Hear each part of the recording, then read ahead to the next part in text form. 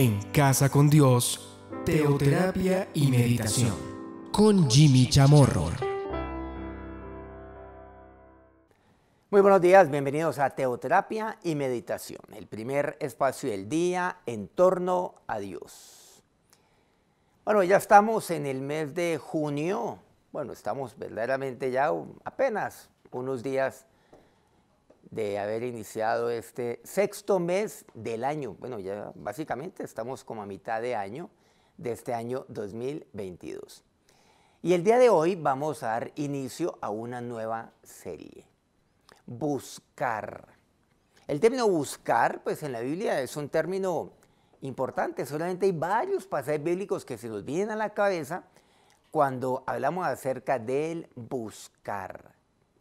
Bueno, hay mucho lo que podemos abarcar con eh, este término, buscar. Bienvenidos entonces a esta nueva serie, la cual estaremos abordando a partir del día de hoy y seguramente por algunos días. Quiero pedirles entonces que me acompañen en la lectura de un pasaje bíblico que está en Ezequiel capítulo 34. Miren lo que Dios habla por medio del profeta, es Dios básicamente hablando aquí entonces. Dice el versículo 6, anduvieron perdidas mis ovejas por todos los montes y en todo collado alto y en toda la faz de la tierra. Fueron esparcidas mis ovejas y no hubo quien las buscase, ni quien preguntase por ellas. Versículo octavo. Vivo yo, ha dicho Jehová el Señor, que por cuanto mi rebaño fue para ser robado y mis ovejas fueron para ser presa de todas las filas del campo, sin pastor. Ni mis pastores buscaron mis ovejas, sino que los pastores se apacentaron a sí mismos y no apacentaron mis ovejas. Bueno, aquí, ¿qué, qué encontramos nosotros? Este es un llamado de atención, esta es una exhortación una reprensión muy fuerte por parte de Dios. Pero por otro lado también nos muestra el amor de Dios, tan grande por sus ovejas. El amor de nuestro Señor. Pero aquí la reprensión es para, para aquellos que, que son eh, pastores, para aquellos que tienen alguna responsabilidad. Responsabilidad a nivel de, por ejemplo, de a nivel espiritual delante de Dios. Autoridad, por cierto, que viene de Dios. Por, ejemplo, Dios ha dado autoridad a los padres. Por ejemplo, un padre. Un padre, en últimas, es el pastor de su familia. Un padre es el guía espiritual de su familia, es el líder espiritual de su familia. Pero también aquellos líderes espirituales aquellos los cuales tienen una responsabilidad de apacentar la grey de Dios. ¿Qué es lo que pasa? El problema es, es un problema grave.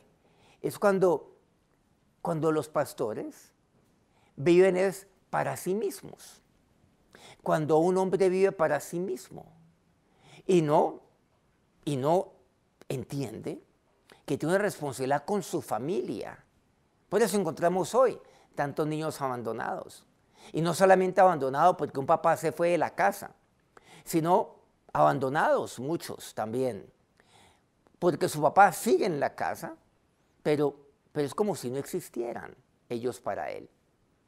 Por eso encontramos también tantas personas que tienen, que tienen hambre y sed de Dios, que quieren saber más y más de las cosas de Dios, pero no tienen quien las pastoree. Pues bueno, aquí me dice la palabra de Dios algo es que estos están viviendo es para sí mismos. Esto no es amar a Dios. Esto no es amar al prójimo. Y aquí me dice, recordemos el versículo 6, no quien las buscase, ni siquiera quien preguntase por ellas. No hay quien las busque, no hay. No hay quien pregunte por ellas.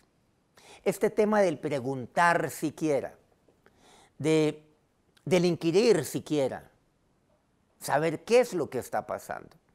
Es posible que, que una oveja se haya apartado de los caminos de Dios, que un hijo se haya apartado de su familia y solamente en los peores términos, por la razón que sea. Y seguramente el, hijo no quiere saber nada de sus padres, porque hay algo lo cual se llevó a cabo, una, una disputa, un pleito, algo prolongado que apartó, que tomó la decisión el joven de apartarse de su familia, independiente de quién sea el responsable de ello. Pero a veces, aquella persona que está perdida, extraña ahí en su interior que siquiera pregunten por ellas. Que siquiera ésta ha tratado de averiguar por él. Por eso dice el Señor, ni mis pastores buscaron mis ovejas, son las ovejas del Señor. Un hijo suyo es una oveja, sí, es una oveja del Señor. Una persona que conoció al Señor y, estuvo en los caminos de Dios y se apartó, pues es una oveja del Señor.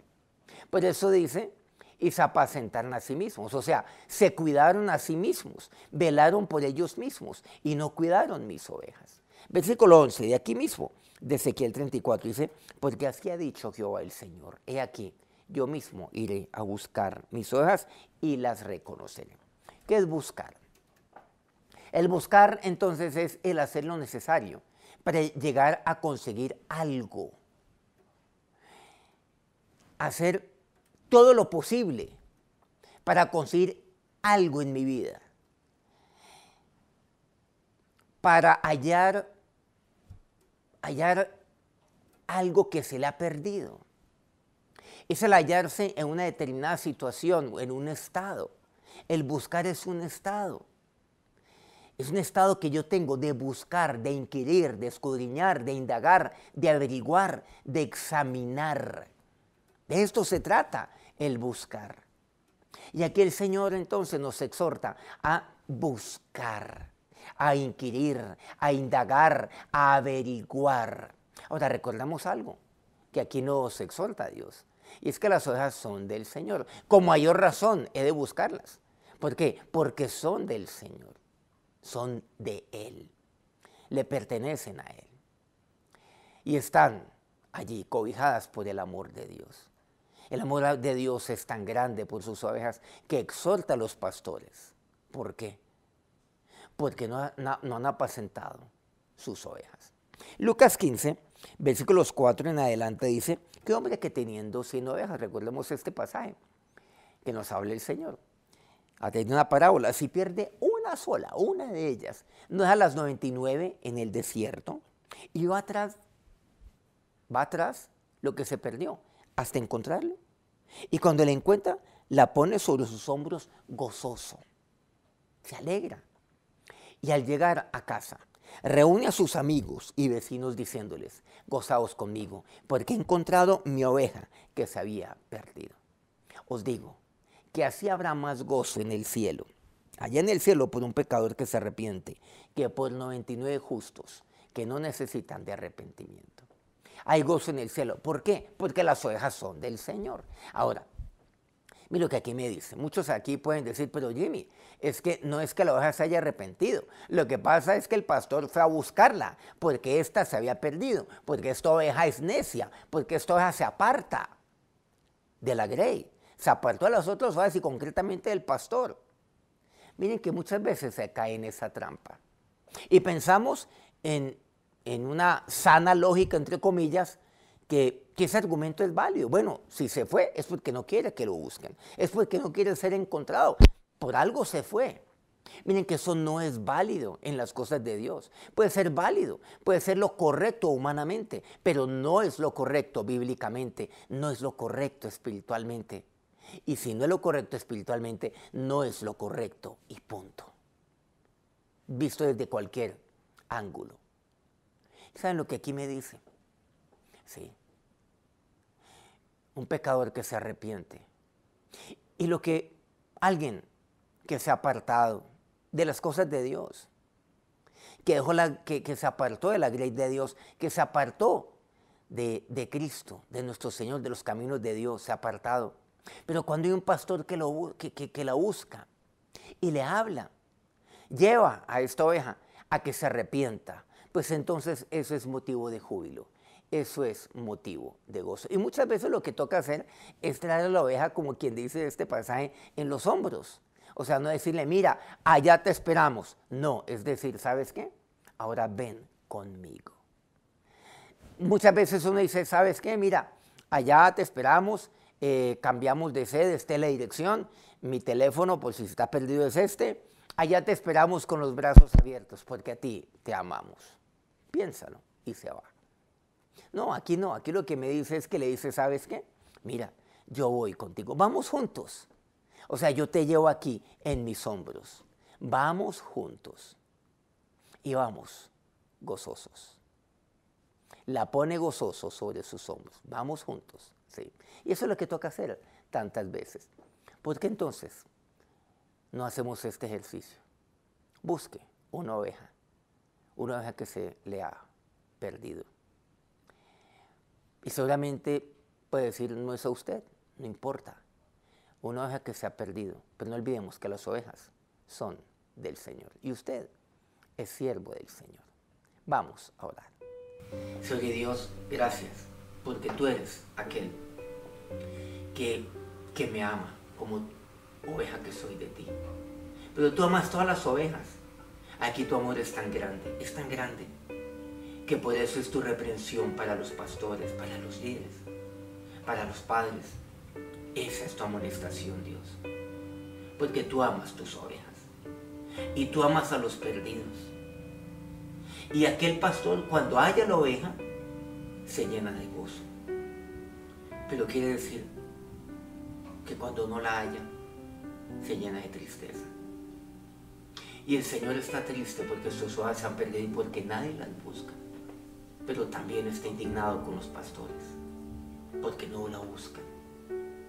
Y ahora, Señor, yo soy tu siervo.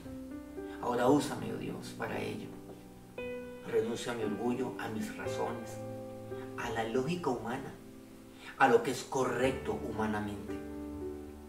Pero no lo es. Y decido hacer lo que es espiritualmente lo correcto, Dios.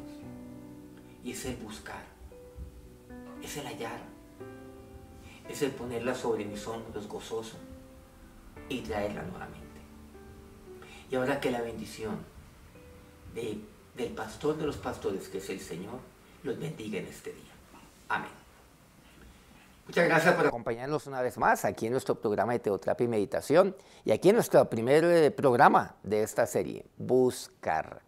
Y a todos aquellos que transmiten este programa día a día, Colmundo Radio aquí en Colombia, Radio Fuego FM en Guayaquil, Ecuador, El Puerto Noticias en Hilo, Perú, Guayo Estéreo en la bella Guajira colombiana, Corrientes del Jardín, Bajo Cauca colombiano, Platino Estéreo. Por favor, antes de irse, regalos un me gusta en su dispositivo. Si este programa pues, ha sido edificante para usted.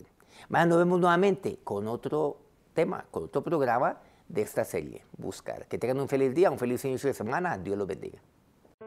En Casa con Dios, Teoterapia y Meditación. Con Jimmy Chamorro.